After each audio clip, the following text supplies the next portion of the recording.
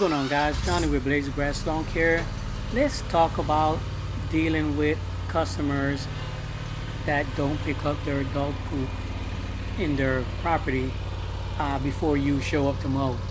Now, what we do in our company is we will text our customers the day prior, the ones that we know that have dogs, and basically we'll say something to the fact that, hey, listen, tomorrow is your service date. Remember to pick up your dog poop, dog toys, kid toys, etc. Fine. If we show up and there's dog poop, um, what I've done uh, in the past is, you know, sometimes, you know, depending on how big it is, I, I've run it over um, and then use the uh, customer hose and clean it off. Um, I've uh, went around it and left, you know, left the grass high in that particular situation, and basically told, you know, text the customer and say, listen, uh, I didn't, I didn't run over dog poop, and I tell them why I don't run over dog poop. Simple as that. And um, and and I've I've had situations where you know I just completely didn't mow the backyard because it was too much uh, dog poop in the property, and um, and you know just told him, hey, listen, you know, we'll, we'll come back on the next service visit, and and not making any special trips, because again, I text you and I told you, and you decided not to pick it up, so therefore I'm not gonna mow it. And if you know, I've I've never been let go by a customer because I didn't mow due to dog poop. I've I've I've kind of stopped service and just kind of you know not fired but you know stopped service to a customer that you know um, they weren't too happy with the dog poop situation. And you know I mean life goes on you know but again I am established in my business to the point where I can do that. You know what I mean?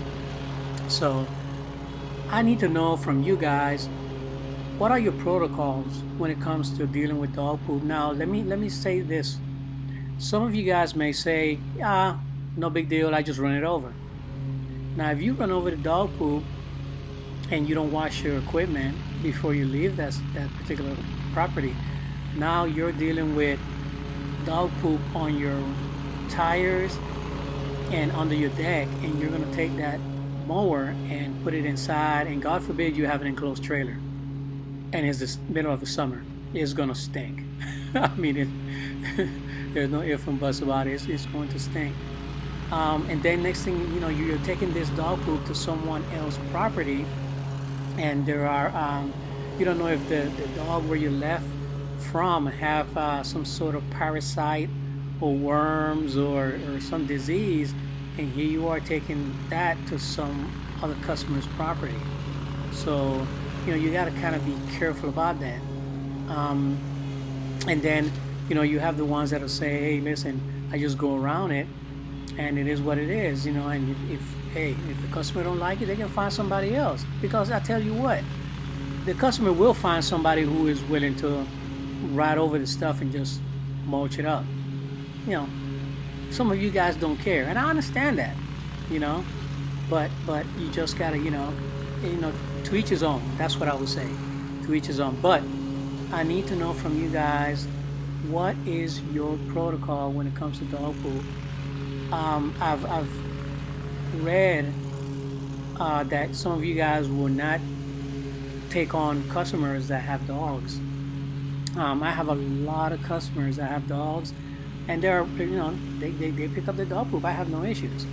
You know, as long as you as you tell the customer and you, you talk to the customer, then you you you, you you're not gonna have a, an issue. I I've I've done that many a times where you know they forget here and there, and you know I, I remind them, hey, listen, I, I, can't take this, I can't do the yard, and they understood, and I, I, had no issues, you know, because it's not fair for them to just automatically think that I can just, you know, roll over it and take it with me. It's just you just don't do it. You know what I mean? So again, guys, give me your protocol and let me know what you guys do in your business when it comes to dealing with dog poop. Um, and for you guys that are wondering, this is the uh, DeWalt X548 stand-on mower. So uh, I have it for, you know, I don't know until when, but I'm gonna use the heck out of it. Awesome, awesome, pretty uh, maneuverable mower. But yeah, guys, let me know how you deal with this situation. Put in a comment below and come back to the video, guys, and read the comments because you know professionals leave professional comments, and and for you guys that are starting out in the business, you can read and see what is the uh, I guess you know what what most people are doing. Um, but at the end of the day, guys, it is up to you. It is your business, and you will tolerate what you want to tolerate. All right? Don't forget, leave it in the comments. Have a great one, guys. Peace.